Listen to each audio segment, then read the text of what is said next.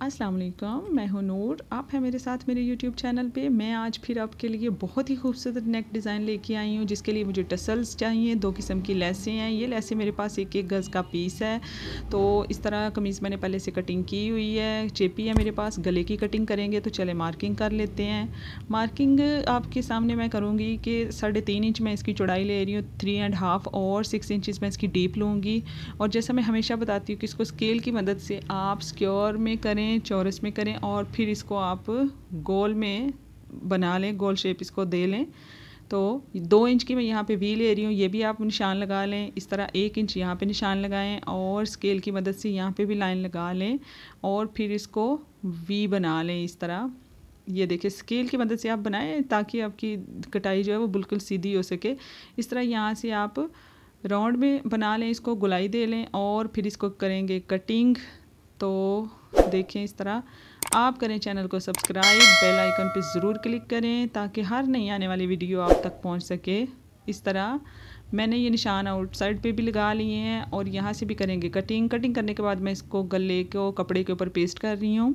इस तरीके से पेस्ट करने के बाद मैं इसको हाफ़ हाफ़ इंच का मार्जिन छोड़ के बाहर से कटिंग कर ली है। ऐसे मैंने इसको सेंटर से फोल्ड किया है, हल्का सा प्रेस करें। ऊपर से आप एक्स्ट्रा कपड़ा बाद में कट कर दें इस तरह। और अंदर वाली साइड से भी आधे आधे इंच का मार्जिन छोड़ के आप अंदर वाली साइड से भी कपड़ा कट कर दें। और बाहर वाली साइड पे छोटे से कट लगाएँ और मशीन के साथ इसकी फोल्डिंग करें।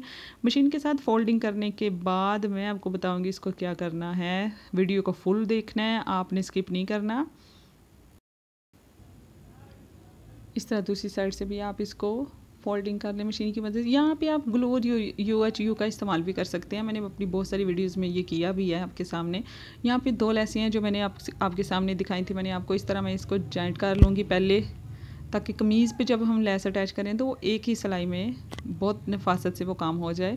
इसलिए मैं इसको आपके सामने इस तरह जुड़ाई कर रही हूँ दोनों लेसों की। इसको मैं एक लेस की शक्ल में इसको बना लूँगी। इस तरह। ये तकरीबन हो चुका है। तो लेस को अटैच करने के बाद आप लेंगे कमीज़ का फ्रंट पल्ला और उस पर रखेंगे गले को।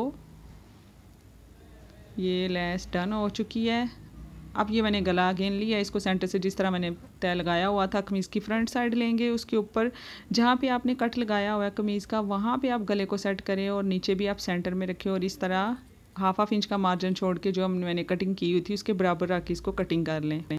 कटिंग करने के बाद इसको सीधा करूँगी मैं और इस तरह इसके ऊपर रख के मैं इसे अटैच करना स्टार्ट करूँगी। तो चलें, करते हैं।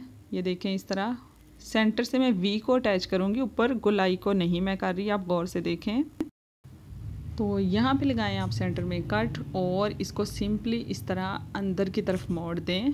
ऐसे फिर मैंने देखें आपके सामने मशीन के ऊपर रखा और इस तरह आसानी के साथ मैंने बस इसको इस तरफ़ पलट के तो ऊपर किनारे की सिलाई लगाई है। आपके सामने मैं लगा रही हूँ, मैं कोई भी चीज़ स्किप नहीं करती हूँ। मेरी कोशिश है मैं आपको बेहतर से बेहतरीन काम सिखाऊँ, जो आप आसानी से सीख सकें। तो इस तरह यहाँ भी वी को मोड़ के तो दूसरी साइड पे भी किनारे की सिलाई लगा रही हूँ। ये मैं कमीज़ के ऊपर नहीं लगा रही हूँ, जो मैंने गला अटैच किया था, छेपी से बना हुआ, मैं उसके ऊपर ये सिलाई लगा रही हूँ। इस तरह लगाने के बाद ये कॉर्नर हमारा इस तरह बन जाएगा, देखें। अब मैं लूँगी लेस, जो मैंने दोनों लेसों की जुड़ाई करा, करके एक लेस बनाई थी। इस तरह मैं ऊपर से थोड़ी सी बढ़ा के तो यहाँ से लगानी स्टार्ट कर रही हूँ। इसको दबा के लगाएँ, सिलाई के साथ दबा के, ताकि इसमें स्पेस ना रहे। जब हम इसको पलटें तो ये बिल्कुल उसके साथ बैठ के आए। यहाँ से आप पैर उठा के कोना बनाइएगा। अगर आप इसको गुलाई में घुमाते हैं तो ये आपकी स्पेस रह जाएगी दोनों साइडों पे। इस तरह आपने कमीज़ के सेंटर जो था, अगर आपको मुश्किल होती है तो आप यहाँ पे चौक से भी मार्किंग कर सकते हैं, कमीज़ के सेंटर में रख के इस तरह लगाते जाएँ और यहाँ पे मैंने बनाया है कॉर्नर, आपके सामने मैंने बनाया है। इस तरह दूसरी साइड पे भी लेस को लेस के साथ मिला के रखें, इसमें स्पेस ना आए, इस तरह लगाते जाएँ। इस तरह लगाने के बाद यहाँ पर जब वी की शेप का कॉर्नर आएगा तो यहाँ पे आपने पिन की मदद से लेस को लेस के साथ मिला के रखना है और फिर इसको ऐसे बंद करना है, यहाँ तक लेके आना है। और दूसरी साइड पे भी सिलाई को लगा लें।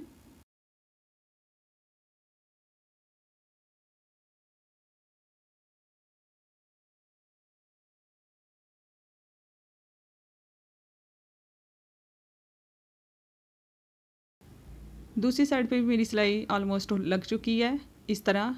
तो इसको मैं निकाल रही हूँ। आप देखें, ये मैं अब ऊपर से गुलाई की जुड़ाई कर रही हूँ। इस तरह मैंने पकड़ा है। सुई का धागा आप बदल लें। इस तरह इसको ऊपर रख के बिल्कुल कटाई के इक्वल रख के जिस तरह हमने कटिंग पहले से की हुई थी तो मैं इसको भी इसके साथ जोड़ रही हूँ। एक साइड मैंने सिलाई कर ली है। तकरीबन दूसरी साइड से भी इसी तरह सिलाई करेंगे, गले को जुड़ाई करके। उसके बाद इसके सेंटर पे लगाएँगे छोटे छोटे से कट्स एक्स्ट्रा लेस अंदर से आप कट कर दें। दूसरी साइड पे भी ऐसी इसकी जुड़ाई करें और अंदर से एक्स्ट्रा लेस को आपने बाद में कट करना है। इस तरह आप ये तकरीबन हो गया है ये भी। तो यहाँ से आप अंदर से लेस को कट कर दें और छोटे छोटे से कट्स कट्स लगाएँ और तरपाई कर लें इसको।